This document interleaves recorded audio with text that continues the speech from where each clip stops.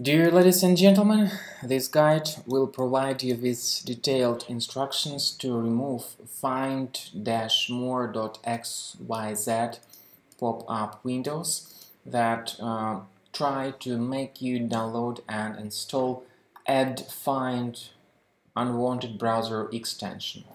So the extension is called add find.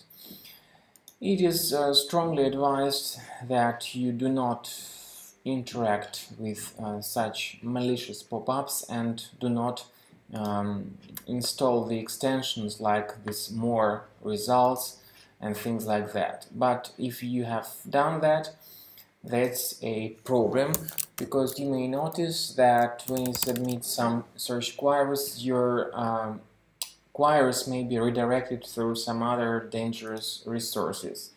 Even if that doesn't happen, the extension may be controlling your important browser settings and it may spy over your browsing activities.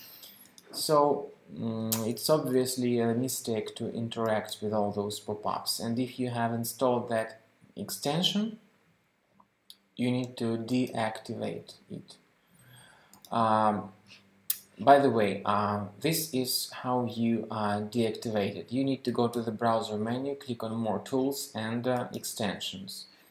Uh, you may find this More Results extension. You may disable and remove it completely. After this is done, you need to um, restart your Google Chrome browser.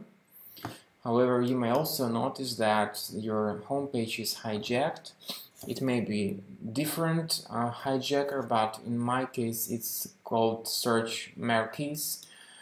Uh, to fix this issue completely and to remove any associated malware from your Mac, I recommend that you scan your Mac with Combo Cleaner, which is the reliable security software.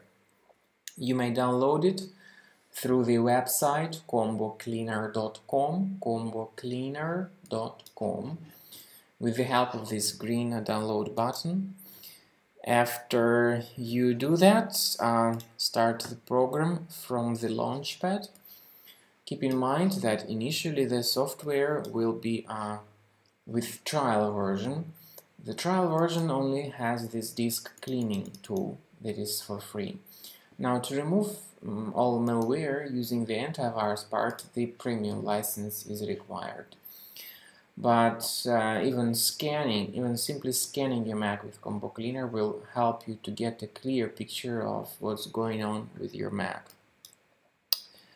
So um, click on Start Combo Scan button after the program is loaded and it will take some time until the scanning is completed. So at the end of scan you may remove threads manually or that can be done automatically but with the premium version of the software. Thanks for watching.